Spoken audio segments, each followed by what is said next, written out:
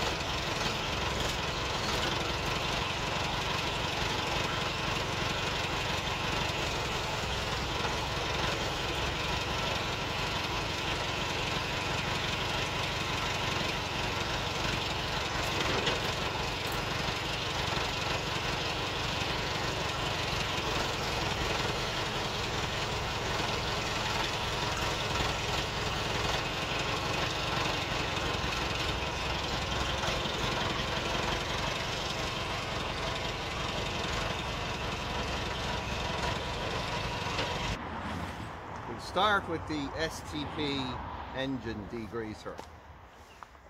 Might as well bring in the big guns first time out.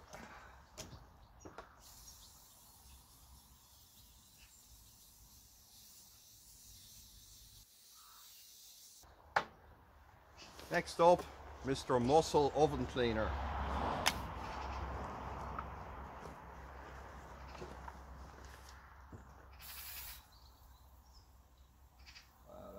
Weird.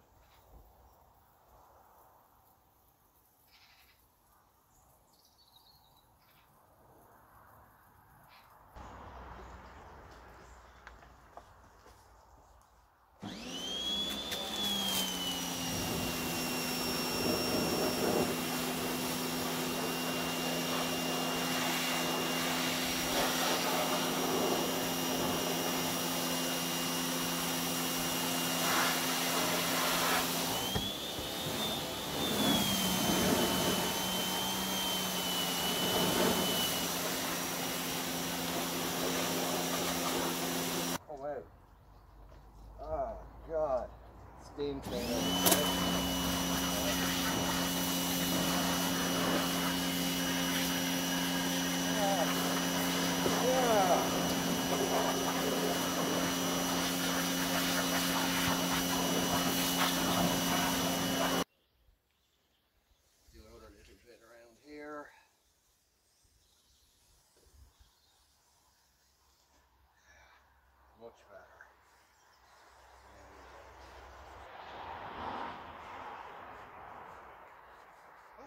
The fuck is wrong with the world today?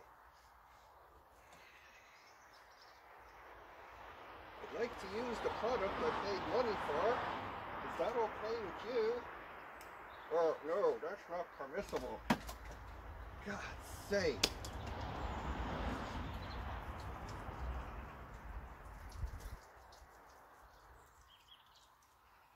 I am a meat popsicle.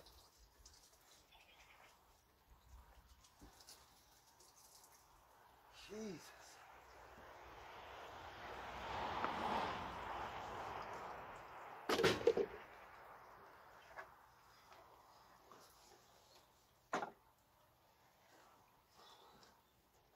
That's a negative, Ghost Rider. I am a meat popsicle.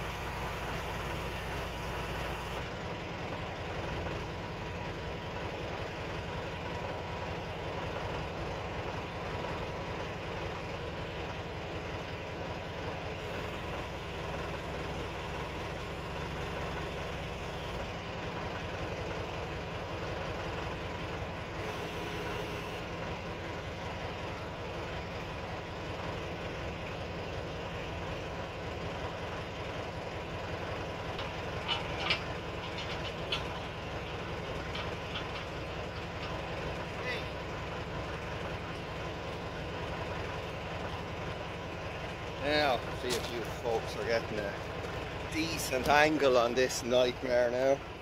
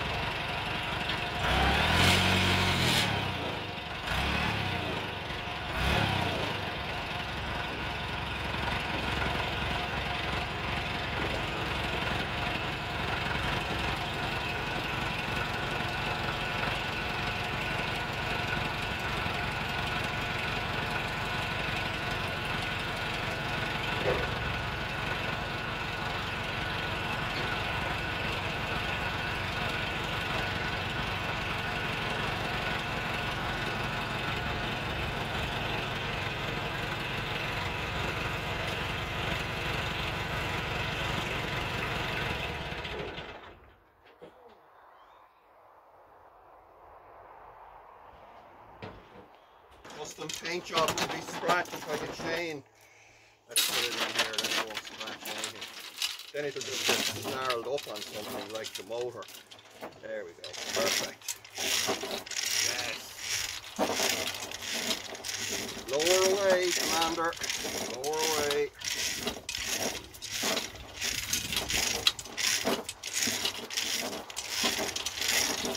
Lower away. Oh, there we go. Ooh, ooh, it's getting near. Ooh, ooh, the splines, the splines, Commander, the splines.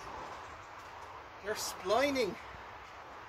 How does that differential look? Ooh, it's, hmm, this could be a match made in heaven.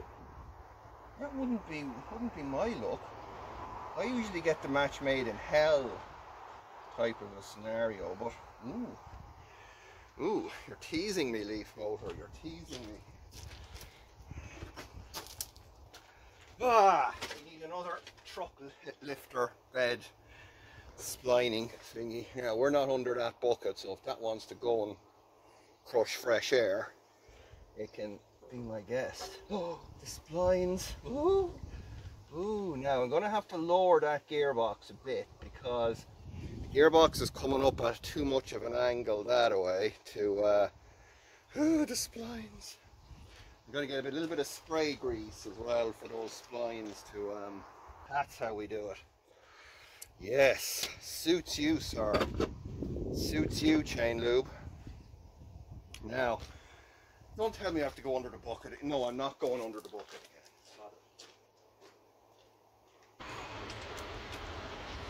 If I can keep that engaged on there, I might just,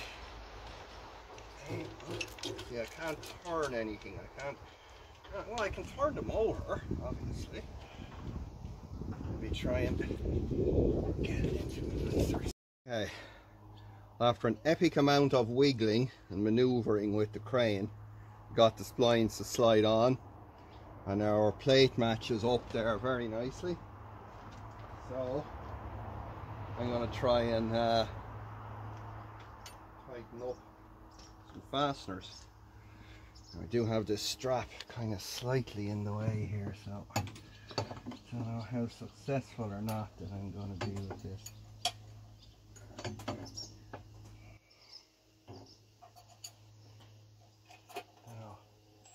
Wouldn't be this project if there wasn't something in the way. There's one in. I don't think I can get that one with the gun, but I'll be able to get his friend over the other side with the gun, alright?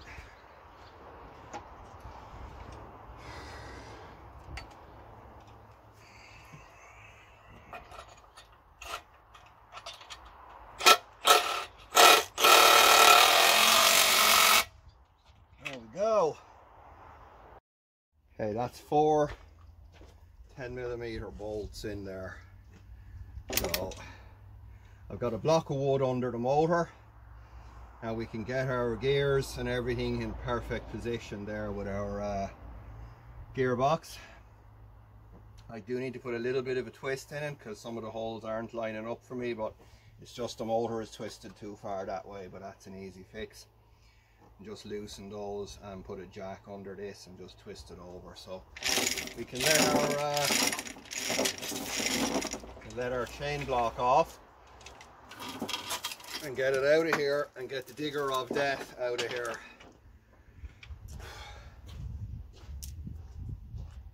It's in. Well folks, that was uh, slightly more work than I'd anticipated. But the good news is we now have an electric motor in our truck. There's one last finishing touch that we got to do here before we can start fabricating mounts and hooking stuff up and going driving. Let me show you. Now, anyone who's anyone knows that when you engine swap your truck, you have to rebuild the entire engine bay. And uh, we need to do that in a professional way, obviously. Uh, so in order to learn how to do that, I have been watching uh, as much pole barn garage as I possibly can. And I believe now uh, that I have the necessary skills to basically take this crusty looking engine bay here that we pressure washed earlier and turn it into an absolutely immaculate uh, finish. So I'm going to get um, I'm going to get started on this and we'll uh, bring you back as we go. Okay folks, we've our engine bay thoroughly and professionally rebuilt, pole barn garage style. Everything's been re replaced, brand new components and carefully blended in uh, to ensure even um, distribution of uh, colors. We've got, you know, brand new steering box and brand new battery tray and so on here. But obviously the star of the show here is our 110 kilowatt uh, Nissan Leaf drivetrain, which is now in. So it's in, the bonnet closes. I had to strip off the um, that sound deadening garbage just that was on there just to buy me a few millimeters. And we'll have to blank off the um, the bonnet scoop that was for the old interco intercooler. So uh, yeah. Not too bad. It was uh, most definitely a tour de force though. It's this vehicle is just really badly designed from a serviceability point of view. I thought doing the front diff you know during the winter gone there was bad but yeah getting that that engine out in particular was a lot of work so folks that's where I'm going to cut it today um, But we've got a drivetrain, an inverter, and a charger, and a DC-DC and all. So uh, a lot of wiring. Obviously, I've got to fabricate engine mounts and get the rest of the bolts into the adapter plate and so on. But I was just super keen there to get this part done today because the rain is due back tomorrow. So I've got the bonnet on now so I can uh, close it up. I'll leave the front grille off for now just till I get the rad in here and a few other odds and ends. So in here in the cab, um, the positioning of the gearbox uh, in terms of height and tilt, pretty much spot on. We can get our rear gates, forward gates on the normal shift and the transfer. Uh, we're on two high, four high, and then four low. So that's all working away merrily. So folks, I hope you enjoyed this one. I know it's been a bit of um, lots of different little bits chopping and changing in the video apologies for that it's just nature of the beast from for me i have a lot of other things that i have to look after during the days and so on but yeah drivetrains in um, i'm going to be getting the um, physical mounting in there finished off so the engine mounts and all that. I took the engine mounts off the existing engine. Other than being caked in goo, they're in good condition, so I gotta try and clean them. And then I'll uh, use those to fabricate mounts to go onto our uh, motor and uh, keep our stack in there. Uh, we've got our battery already in the back there, so after that, it's pretty much a wiring job, folks. We get our VCU in there and um, we can start bringing up the power. And uh, then we'll get a rad in there um, and then we'll be driving. Obviously, you've got to do power steering and power brakes and that, but I don't need those just to drive around the yard here and prove that um, everything pretty much works. So that's the direction of travel uh, that we're going to be taking on this project. Folks, thanks a lot uh, for sticking with me. Uh, some of these projects do take years, but uh, we get there in the end, uh, thankfully. So, as always, don't forget to give the old video a big thumbs down. Don't share, don't subscribe, don't do any of that nonsense. Don't give me money on Patreon or PayPal or any other donations or anything like this because then I just waste them on projects like this one. Um, so we'll see you in the next episode. And uh, until then, happy engine bay rebuilding.